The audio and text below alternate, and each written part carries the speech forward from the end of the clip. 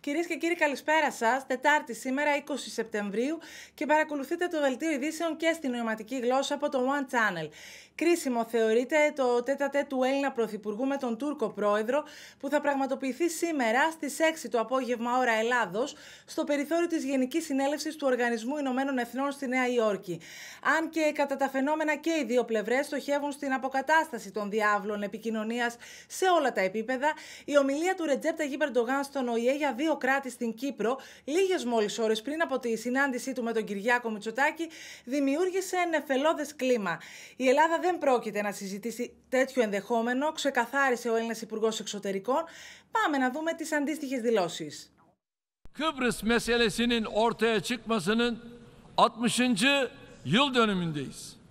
Kıbrıs Türk tarafı Kıbrıs meselesinde adil, kalıcı ve sürdürülebilir bir çözüm bulunması için daima samimi gayret göstermiştir.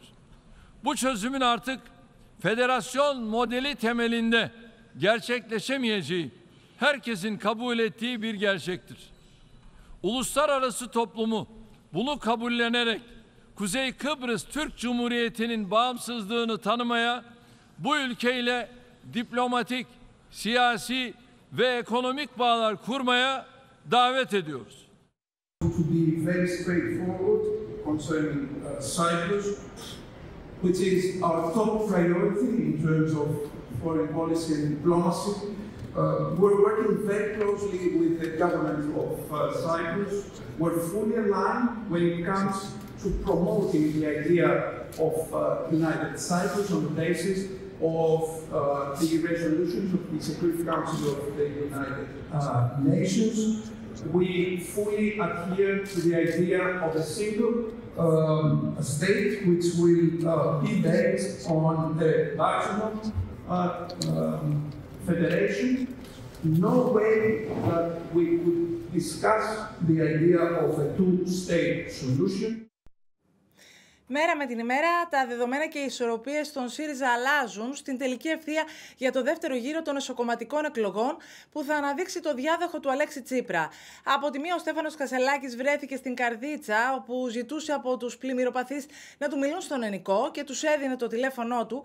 Από την άλλη, η Έφη Αχτσιόγλου ανήρτησε βίντεο στα κοινωνικά δίκτυα, όπου έδωσε απαντήσεις επί παντός επιστητού απέναντι στον πόλεμο λάσπης που δέχεται, όπως είπε χαρακτηριστικά. Δεν πίστευα ποτέ ότι θα χρειαζόταν να κάνω αυτό το βίντεο. Όμως για όλα υπάρχει ένα όριο. Η Εφη Αχτσιόγλου με τη φράση Καλούμε να αποδείξω ότι δεν είμαι ελέφαντας επιχείρησε μέσω βίντεο να δώσει για τελευταία φορά, όπως είπε, απάντηση στις προβοκάτσιες στο πρόσωπό της και για όσα της καταλογίζουν ότι υπονόμευσε τον Αλέξη Τσίπρα. Ζητώ και από τον συνυποψήφιό μου Στέφανο Κασελάκη, που έχει υποστεί και αυτός ανίκειε επιθέσεις, στις οποίες από την πρώτη στιγμή δημόσια έχω τοποθετηθεί, να πάρει θέση για το αυτονόητο. Να καταδικάσει τον πόλεμο λάσπης περί δίθεν υπονομευτών του Αλέξη Τσίπρα. Αυτό είναι το πρώτο και το τελευταίο βίντεο που θα με δείτε να μιλάω για τέτοια πράγματα. Μόλις με ξαναδείτε, σύντομα δηλαδή, θα με δείτε όπως ξέρετε. Να μιλάω για την ουσία της πολιτικής. Ο Στέφανος Κασελάκης για την ώρα επιλέγει να τρέξει την κούρσα για την διεκδίκηση της Προεδρίας και να μην απαντήσει στην έκκληση της κυρίας Αξιόγλου να πάρει θέση. Χαμένοι στον κόσμο μας, στα ποσοστά μας, στις καρέκλες μας, βαθιά ανοιχτωμένοι. Σήμερα στη μεταμόρφωση καρδίτσας μας έλεγαν συγχαρητήρια για το αποτέλεσμα και ντρεπόμουν. Ντρεπόμουν για μια προσωπική επιτυχία μέσα σε μια τέτοια συλλογική αποτυχία του κρατικού μηχανισμού. Ο Αλέξης Τσίπρας, μέσω του αρθογράφου της Αυγής, επιχείρησε να διαψεύσει τις κατηγορίες που εξαπολύονται σε βάρος της Εύσης Αξιόγλου περί υπονόμευσής του από την ηγεσία του ΣΥΡΙΖΑ. Το θέμα είναι αν θα φάμε τα παραμύθια και τις αγριότητες που διακινούνται στο διαδίκτυο. Μπλέκοντας μάλιστα και τον Αλέξη Τσίπρα, λες και αυτός δεν άνοιξε με τη γνωστή του ευθύτητα την πόρτα στο νέο κύμα του ΣΥΡΙΖΑ, αλλά τη βρύση για να γεμίσει την πανιέρα του. Ο Τσίπρας δήλωσε ότι θα παραμείνει και παραμένει στεγανά ουδέτερος. Πειθαρχούμε σε ό,τι αποφασίσουν τα μέλη μας. Αυτή είναι η αμετακίνητη άποψή του. Δεν, δεν το πιστεύω καθόλου. Είμαι μέσα στο ΣΥΡΙΖΑ σε θέσεις πολλές και πολλαπλές. Δεν είμαι κάποια η οποία δεν γνωρίζει το χώρο.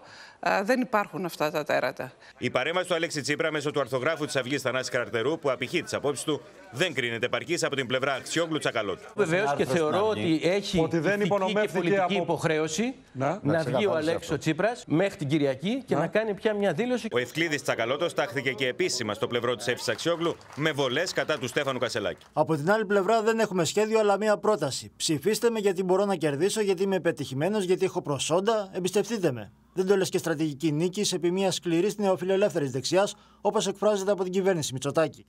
Για υποψηφιότητα νίκης μίλησε ο Νίκος Παπάς, αναφερόμενος στη συμφωνία στήριξης του κ. Κασελάκη στο δεύτερο γύρο, ενώ έκλεισε και τη συζήτηση περί ανταλλαγμάτων, δείχνοντας τον κύριο Φάμελο ως κατάλληλο για την προεδρία της κοινοβουλευτικής ομάδας του ΣΥΡΙΖΑ. Να σας πω ευθέως ότι δεν θα είμαι ο επόμενος πρόεδρος της κοινοβουλευτικής ομάδας.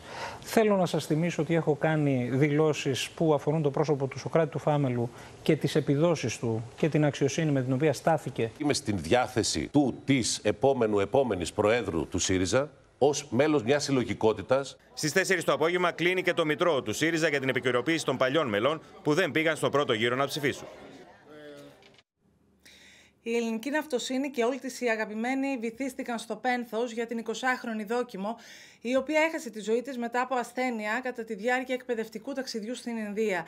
Η 20χρονη γυναίκα φαίνεται ότι πέθανε από λιμώδη εγκεφαλίτιδα, πιθανότατα μετά από τσίπημα από κάποιο μολυσμένο κουνούπι. Σύμφωνα με πληροφορίες, η 20χρονη δόκιμος είχε περάσει όλες τις απαραίτητες εξετάσεις και είχε κάνει όλους τους αναγκαίους εμβολιασμούς πριν από το μοιραίο ταξίδι. Στη γενέτειρά της, στην Κό, είναι βαρύς και ανίποτος. Σήμερα στις 5 το απόγευμα θα τελεστεί η κηδεία της στο χωριό Ζιπάρι του νησιού.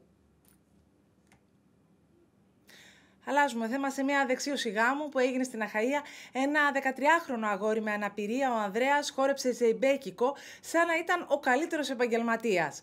Μάλιστα, τέτοια είναι η αγάπη και το πάθος του για το χορό, που έγινε η ψυχή της παρέας. Κατάφερε να ξεσηκώσει με το χορό του όλους τους καλεσμένους, οι οποίοι τον συνόδεψαν στον εγκάρδιο χορό του, χτυπώντας παλαμάκια. Ο Ανδρέας είναι τρανό παράδειγμα ότι τα άτομα με αναπηρία είναι χαρισματικά και ικανά για όλα.